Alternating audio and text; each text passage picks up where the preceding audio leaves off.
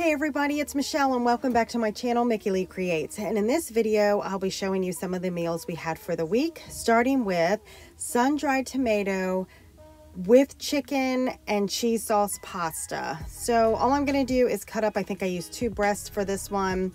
And as usual, I like to trim up my fat and take that off. Then I'm just gonna dice it into some cubes, put it in the pan, and then of course I'll season it with salt, pepper, garlic, Italian seasoning, my four go-to seasonings. And then I also use some of the Kinder's, the Cajun Blacken seasoning. I love that stuff with chicken. It is so good.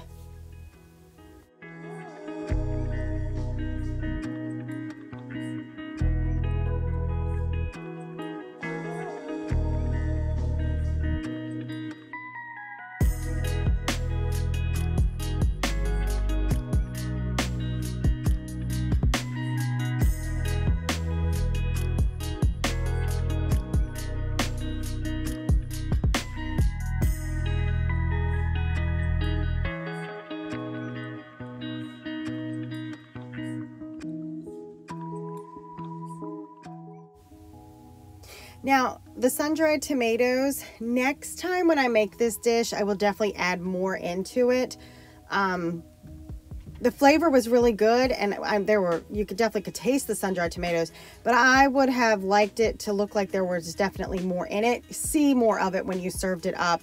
But like I said, the taste was great. It tasted really good. And when I did make my cheese sauce, which I didn't show in this video, but of course that's just heavy cream, um, salt, pepper, garlic, Italian seasoning, and shredded cheese. I did add some of the oil from the sun-dried tomatoes into that cheese sauce, which really did give it a good flavor. But like I said, definitely next time I'll add more sun-dried tomato.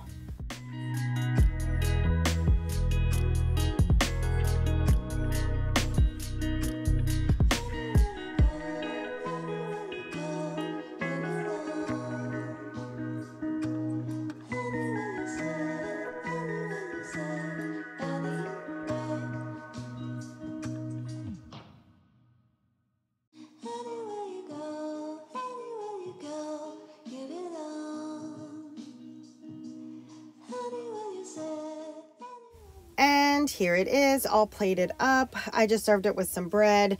Um, we didn't do salad or anything this night, just something really simple. But like I said, you can see where maybe some of the sun-dried tomato is in there. The flavor definitely was from the oil, but most definitely put more um, sun-dried tomato in.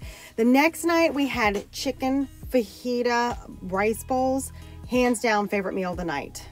Absolutely loved it. I think I did like two chicken breasts here, cut them up again, diced into um, bite-sized pieces and of course um,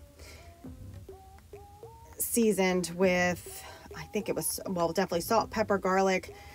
I didn't put Italian seasoning in this one. I think I added some cumin and I had some fajita pasta or fajita seasoning that I put in to the chicken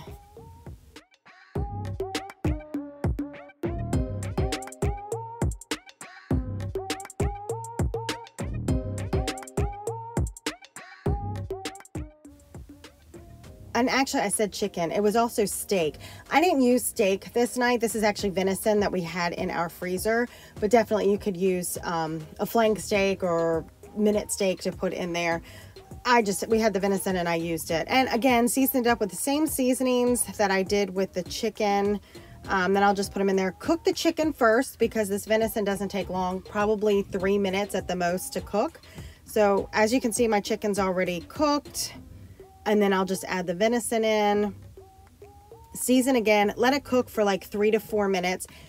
Just until it's somewhat brown I don't if you overcook it it's not going to be very good. It gets very rubbery and I don't like that. So I would say maybe three to four minutes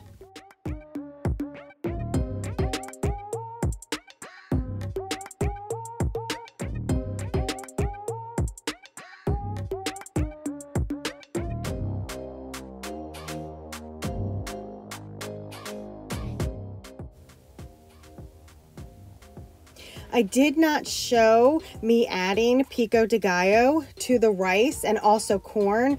Guys, I'm telling you, if anything you need to try, this recipe. It was so good. And the pico de gallo actually absolutely knocked it out of the park. And I just bought that at Walmart. So on this night, we did chicken Caesar pasta. Now I've seen people do it like cold and they actually add the Caesar, not Caesar, the romaine lettuce and stuff like that. I, I don't do that. But instead for the dressing, well, not dressing, the sauce is actually Caesar dressing. So again, cut up the chicken into bite-sized pieces, season it as I normally do, cook it until it's done. And then I use bow tie pasta. I really like that pasta. So I use bow tie pasta with this. And I actually think I had a little bit of bow tie pasta, so I had to use some rigatoni. So I mixed two pastas together, but turned still turned out great. And then once the chicken's cooked, the pasta's done, then you just drain the pasta, add the chicken, and then coming up, you'll see where I'll add Caesar dressing and um, cheese to it, and I'll layer it, but you'll see that as it comes up.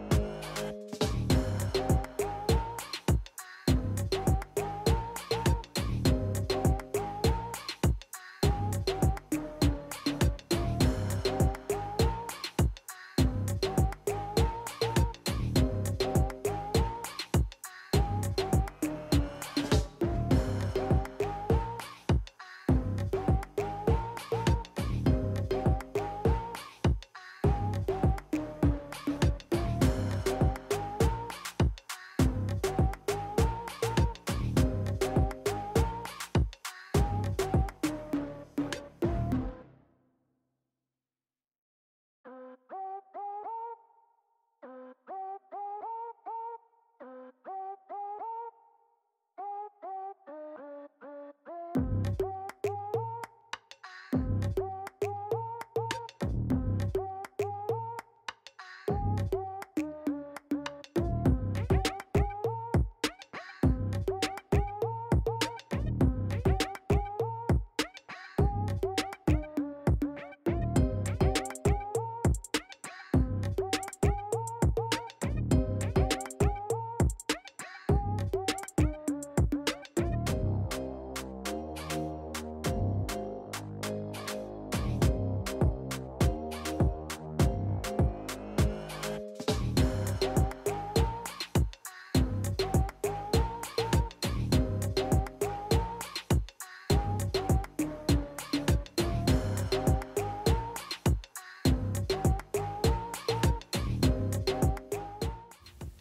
And here it is, guys. Again, like I said, I had the bow tie pasta and the rigatoni, and I just served this with a side salad. Um, we didn't do bread or anything this night. And it looks very similar to the sun-dried tomato or sun-dried pasta one I did, but that had cheese sauce and this had Caesar. And I will tell you, the chicken Caesar pasta is a huge hit in my house.